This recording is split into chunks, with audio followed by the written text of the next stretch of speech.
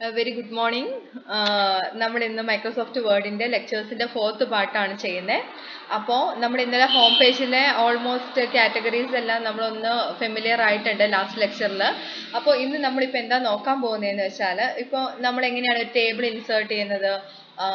അതെങ്ങനെയാണ് ഫോർമാറ്റ് ചെയ്ത് കറക്റ്റ് ഫോമിലാക്കുന്നത് അതുപോലെ എങ്ങനെയാണ് ഒരു പിക്ചർ ഇൻസേർട്ട് ചെയ്യുന്നത് അങ്ങനെയുള്ള കാര്യങ്ങളൊക്കെയാണ് നമ്മൾ നോക്കാൻ പോകുന്നത് അപ്പം ഇപ്പൊ ഒരു സപ്പോസ് നമ്മൾ വേണ്ടി ഉപയോഗിക്കുന്ന ഒരു ഡേറ്റ എന്ന് പറയുന്നത് ഇപ്പൊ നിങ്ങളുടെ ഒരു ഫസ്റ്റ് ഇന്റേണൽ മാർക്ക് ഫസ്റ്റ് ഇന്റേണലിന്റെ മാർക്കാണ് അല്ലെങ്കിൽ first sessional mark M S C third year M L T third year സ്റ്റുഡൻസിന്റെ നമ്മൾ നോക്കുകയാണ് എസ് എം ഇയിൽ അപ്പോൾ ഞാൻ അതിന് ടൈറ്റിൽ നമുക്കൊരു നമ്മുടെ ഡോക്യുമെന്റിന്റെ ടൈറ്റിൽ എന്ന് പറയുന്നത് first internal assessment of M L third year M L T അല്ലേ? അപ്പോൾ തേർഡ് തേർഡ് എന്നുള്ളതിന് ത്രീ എന്നിട്ടിട്ട് എനിക്ക് വേണമെങ്കിൽ ഇതാ എക്സ് സ്ക്വയർ കൊടുത്തിട്ട് ഇവിടെ ആറെന്ന് കൊടുക്കാം. അവിടെ ഞാൻ ക്യാപിറ്റൽ ലെറ്റർ ആർ ഡി ആണ് കൊടുത്തേക്കുന്നത്. ഒന്നുകിൽ T H I R D letters തന്നെ ഇടാം. അല്ലെങ്കിൽ നമ്മൾ എന്താണ് ഇതുപോലെ ന്യൂമറിക്കൽ ആക്കിയിട്ട് തേർഡ് ഇങ്ങനെ കൊടുക്കാം. Okay third in third year M L T students എന്ന് കൊടുത്തു. ഓക്കെ അപ്പൊ ഇത് എനിക്ക് എന്താണ് എനിക്ക് ഈ ഡോക്യുമെന്റ് മൊത്തത്തിൽ ടൈംസ് ന്യൂ റോമൻ ട്വൽവിലാണ് സ്റ്റാൻഡേർഡ് ആയിട്ട് അതെങ്ങനെ ചെയ്യുന്നത്? നമുക്ക് ഇന്ന് വേണേൽ ഒരു ചേഞ്ചിന് ഈ പറഞ്ഞ പോലെ ഏരിയൽ എന്ന് പറയുന്ന ഒരു ഫോണ്ട് ഉണ്ട് ഗ്യാരമണ്ട് ഉണ്ട്. ഇതൊക്കെ നല്ല സ്റ്റാൻഡേർഡ് ഫോൺസ് തന്നെയാണ്. പിന്നെ സ്റ്റുഡൻസിന് മിക്കവാറും യൂണിവേഴ്സിറ്റീസ് ഒക്കെ റെക്കമെൻഡ് ചെയ്യുന്ന ഒരു ഫോർമാറ്റ് എന്ന് പറയുന്നത് മിക്കവാറും ടൈംസ് ന്യൂ റോമൻ ആയിരിക്കും. ഇനി ഞാൻ ഗ്യാരമണ്ട് ആണ് സോറി ഏരിയലാണ് ഞാൻ എടുത്തിട്ടുള്ളത്. അത് ഞാൻ ബോൾഡ് ചെയ്തു. ഞാൻ അത് സെന്ററിലാക്കി ഇനി ഒരു പ്രത്യേകത എന്നാന്ന് വെച്ചാൽ ഇപ്പോൾ ഓൾറെഡി ഞാൻ ടൈറ്റിൽ അവിടെ തന്നെ അതിന്റെ എഡിറ്റിംഗ് ചെയ്തത് കൊണ്ട് കൺട്രോൾ എ കൊടുത്തിട്ട് ഇത് സെലക്ട് ചെയ്ത് ചെയ്തത് കൊണ്ട് ഇനി ഞാൻ ചെയ്യുന്ന എവിടെ എന്ത് ടൈപ്പ് ചെയ്താലും അത് സെന്ററിൽ ഏരിയൽ ട്വൽവ് സൈസിൽ ബോൾഡിൽ ഈ ഡോക്യുമെന്റിന്റെ സെന്റർ ആയിട്ടായിരിക്കും ടൈപ്പിങ്സ് വരുന്നത്. അപ്പോൾ അതും ഒഴിവാക്കാൻ വേണ്ടി നമ്മൾ എന്ത് ചെയ്യണം എന്ന് വെച്ചാൽ ഇവിടുന്ന് ഞാനിപ്പോൾ എന്റർ അടിച്ചു. ദാ ഇവിടെ ഇങ്ങനെ ഇരിക്കുമായിരുന്നു കേസർ എന്റർ അടിച്ചു. സെന്ററിൽ തന്നെ വന്നു. കാരണം നമ്മൾ ഓൾറെഡി സെലക്ട് ചെയ്ത് വെച്ചിരിക്കുന്നത് സെന്റർ ഓപ്ഷനാണ് ഞാൻ അവിടുന്ന് അതിനെ ബാക്ക് സ്പേസ് അടിച്ചു കഴിയുമ്പോഴത്തേക്കും ഈ കേഴ്സർ ഇവിടെ വരും. അവിടുന്ന് എനിക്ക് അതിന്റെ ബോൾഡ് കുറയ്ക്കാം. വേണമെങ്കിൽ സൈസും കുറയ്ക്കാം. ഞാനിപ്പോൾ ബോൾഡ് എന്നുള്ള ഒരു ഓപ്ഷൻ മാത്രമാണ് എടുത്തു കളയുന്നത്. ഇനി പിന്നെ ഞാൻ ജസ്റ്റ് ഇങ്ങനെ ഒരു ഒരു ഫ്രെയിം വർക്ക് നിങ്ങൾക്കൊന്ന് മനസ്സിലാവാൻ വേണ്ടിയിട്ട് ബിലോ table shows എന്താണ് സമ്മറി പറയാണ് എന്താണ് table കാണിക്കുന്നതെന്ന് so below table shows the the internal marks of research methodology and biostatistics of third year അതിൽ ഒന്നുകൂടി ക്ലിക്ക് ചെയ്താലാണ് നമുക്ക് ആ സ്ക്വയർ ചെയ്തിട്ടുള്ള ഒരു ഓപ്ഷൻ മാറണമെങ്കിൽ അതിലൊന്ന് ക്ലിക്ക് ചെയ്താൽ നമുക്കത് സ്ക്വയർഡ് ആയിട്ട് വരും. പിന്നെ നമ്മൾ അതിൽ ഒന്നുകൂടി ക്ലിക്ക് ചെയ്താലേ ഓപ്ഷൻ പോവുള്ളൂ. Third year M L T students of S M E Koothattukulam okay ഇതാണ് നമ്മൾ പറയാൻ ഉദ്ദേശിക്കുന്ന ഒരു മാറ്റർ ഇതാണ്. ഇനി നമുക്ക് നോക്കുന്നത് ഇതിന് വേണ്ടി ഇപ്പൊ നിങ്ങൾ എത്ര പേരുണ്ട്? നിങ്ങൾ തേർട്ടി സിക്സ് ആണ് നിങ്ങളുടെ ക്ലാസ്സിലെ നമ്പേഴ്സ് അല്ലേ? അപ്പൊ ഇതിപ്പോ ഇതാ കുറച്ച് വേണമെങ്കിൽ സൈസ് ഒന്ന് ഇപ്പൊ ഒരു ഭയങ്കര വലുതായിട്ടിരിക്കുന്നുണ്ട്. ഞാൻ അതിന്റെ സൈസ് ഒന്ന് കുറച്ചു.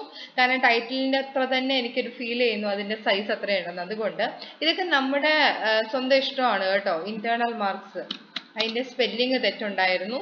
കൂത്താട്ടുകുളത്തിന് എന്താണ് കൂത്താട്ടുകുളം എന്ന് പറയുന്ന ഒരു വേർഡ് നമുക്ക് കറക്ഷൻ സ്പെല്ലിംഗ് സജഷൻസ് കാണിക്കുന്നില്ല.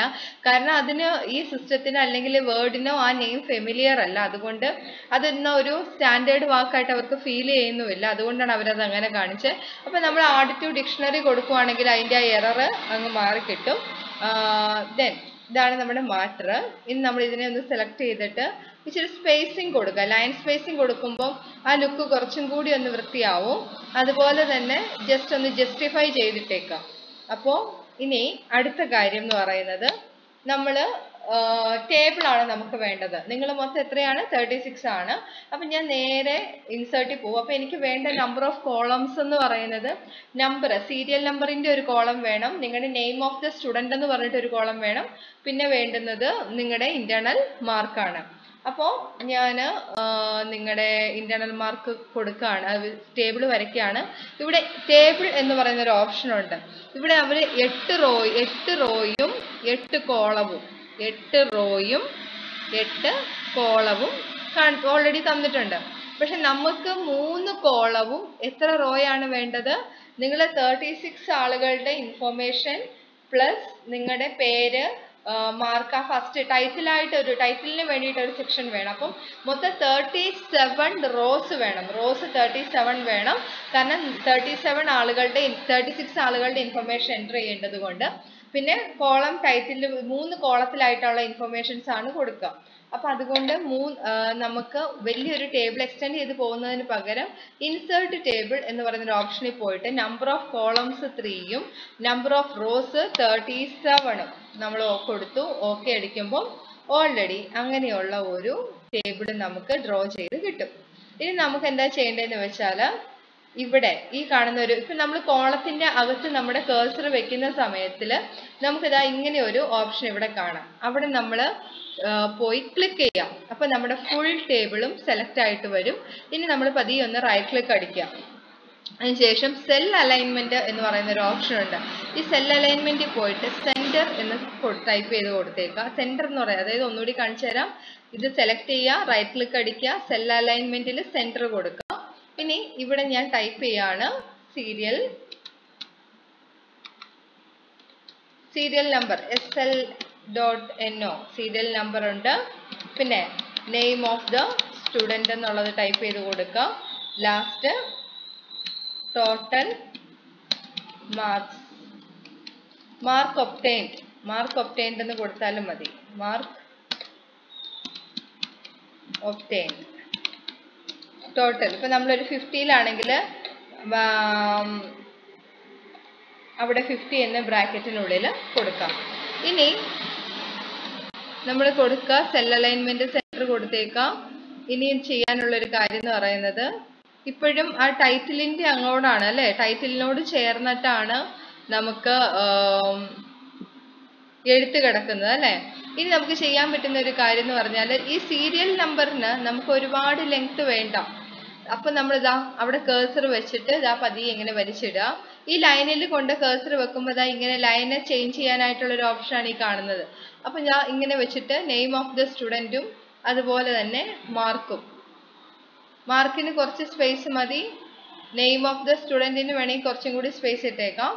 ഇനി നമ്മൾ നോക്കുക ഇതാണ് നമ്മുടെ ഇതിന്റെ ഇതിന്റെ സൈസ് ഒന്ന് കുറച്ചിടുവാണെന്നുണ്ടെങ്കിൽ ലൈൻ സ്പേസിംഗ് ഒന്ന് കുറച്ചിടുവാണെങ്കിൽ അതിന്റെ ഇടയ്ക്കുള്ള ഗ്യാപ്പ് അങ്ങ് മാറി കിട്ടും. ഓക്കെ ഇനി നമുക്ക് വേണേൽ ടൈറ്റിൽ ആയതുകൊണ്ട് നമുക്ക് ഇതിനെ ഒന്ന് ബോൾഡ് ചെയ്ത് വെക്കാൻ പറ്റും. ഇനി ഇതിന്റെ താഴത്തോട്ട് വരുമ്പോൾ വൺ ടു ഇത് നിങ്ങൾക്ക് എളുപ്പത്തിന് വേണേൽ എക്സലിൽ ഫിഫ്റ്റി വരെ അല്ല തേർട്ടി സിക്സ് വരെ ഒന്ന് നിങ്ങൾക്ക് ടൈപ്പ് ചെയ്തിട്ട് അങ്ങനെ വേണമെങ്കിൽ ചെയ്യാവുന്നതാണ്. അപ്പോൾ ഇതാണ് നമുക്ക് സിമ്പിളി പറയുവാണെങ്കിൽ ഇത്രയേ ഉള്ളൂ ഒരു ടേബിൾ നമ്മുടെ വേർഡിൽ തന്നെ നമുക്ക് ടേബിൾ ഉണ്ടാക്കാനായിട്ട്. നിങ്ങൾ എപ്പോഴും ശ്രദ്ധിക്കണം സ്റ്റാറ്റിസ്റ്റിക്കൽ അനാലിസിസിനൊക്കെ നമ്മൾ സോഫ്റ്റ്വെയർ നിങ്ങൾ നിങ്ങളിപ്പോൾ പ്രൊജക്റ്റ് ഒക്കെ ചെയ്യുന്ന സമയത്ത് സോഫ്റ്റ്വെയർസ് ഒക്കെ ഉപയോഗിക്കും. അപ്പോൾ എസ് പി എസ് എസിന്റെ ഒക്കെ ഔട്ട്പുട്ട് പേജിൽ കുറേ ടേബിൾസ് ഒക്കെ നമുക്ക് ക്രിയേറ്റഡ് ആയിട്ട് കിട്ടും. അങ്ങനെ ടേബിൾസ് ക്രിയേറ്റഡ് ആയിട്ട് വന്നാൽ പോലും നിങ്ങൾ അതൊരു ഡോക്യുമെന്റ് ആയിട്ട് അല്ലെങ്കിൽ നിങ്ങളുടെ തിസീസോ നിങ്ങളുടെ റിപ്പോർട്ടോ തയ്യാറാക്കുന്ന സമയത്ത് ആ ടേബിൾസിനെ കൊണ്ട് കോപ്പി പേസ്റ്റ് അടിക്കാതെ നിങ്ങൾ വേർഡിൽ തന്നെ ഒരു ടേബിൾ ക്രിയേറ്റ് ചെയ്യുവാണെങ്കിൽ പിന്നീട് അത് എഡിറ്റ് ചെയ്യാനും അതിൽ നിന്ന് ഗ്രാഫ് ഒപ്റ്റെയിൻ ചെയ്യാനും അതിന്റെ വൃത്തി ലുക്കൊക്കെ ഒന്ന് വൃത്തിയാക്കാനും അതായത് നമ്മൾ ഉദ്ദേശിക്കുന്ന ആ ഭംഗിയിലോട്ട് അതിനെ കൊണ്ടുവരാനും ഒക്കെ സാധിക്കുന്നത് വേർഡിലെ ടേബിളിലാണ്. അപ്പം അത്യാവശ്യം എഡിറ്റിങ്ങും മാനേജ് ചെയ്യാൻ കുറച്ചുകൂടി ഈസിയാണ് വേർഡിലെ ടേബിൾസ്. അപ്പോൾ അതാ ഇത്രയുമാണ് ഞാനിപ്പോൾ റാൻഡമായിട്ട് ഒരു കാര്യം ചെയ്യാൻ പോവാണ്. നിങ്ങൾക്ക് ഇത് ടേബിൾസ് പറഞ്ഞു തരാൻ വേണ്ടി ആയതുകൊണ്ട് ഇതാ ഞാൻ അത്രയും ഇത് കട്ട് ചെയ്തു. ഇത് ഒരു പത്ത് പേരുടെ പേര്. അപ്പം ഞാൻ ആളുകളുടെ പേരൊന്നും എഴുതുന്നില്ല. പകരം ഞാൻ ഇതിനെ A B C D E F G H I name of the സ്റ്റുഡന്റിന് പകരം ഇങ്ങനെ കൊടുക്കുകയാണ് ഇനി out of fifty thirty two forty five forty six thirty seven twenty nine thirty three forty nine forty one thirty six suppose ഇത് വെറുതെ ഒരു data ആണ് കേട്ടോ. ഞാൻ ചുമ്മാ റാൻഡമായിട്ട് ഇപ്പം നിങ്ങൾക്ക് വേണ്ടി ക്രിയേറ്റ് ചെയ്തൊരു ഡേറ്റ ആണ് ഇതുപോലെ നമ്മളിപ്പോൾ ഒരു ടേബിൾ ക്രിയേറ്റ് ചെയ്യുമ്പോൾ മസ്റ്റായിട്ട് ശ്രദ്ധിക്കേണ്ട കാര്യങ്ങൾ അന്ന് ഗ്രാഫും ടേബിൾസും പഠിപ്പിച്ചപ്പോൾ ഞാൻ പറഞ്ഞിട്ടുണ്ടായിരുന്നു. ടേബിൾ നമ്പർ ടേബിൾ നമ്പർ വേണം ടേബിളിന് ടൈറ്റിൽ വേണം ഇന്റേണൽ